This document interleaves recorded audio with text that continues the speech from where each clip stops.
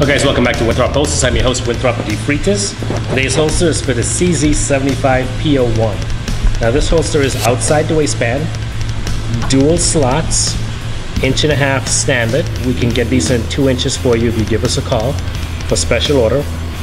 This holster is tilted at a 10 degree cant, so this gives you a more of a concealment where you can wear it back at a 334 o'clock position.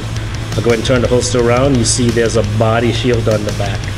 The body shield actually has a French cut and that keeps the gun away from you. So again, this is for the CZ75P01 outside the waistband with a body shield. This holster can be found on winthropholsters.com. Feel free to give us a call if you have any questions about this holster.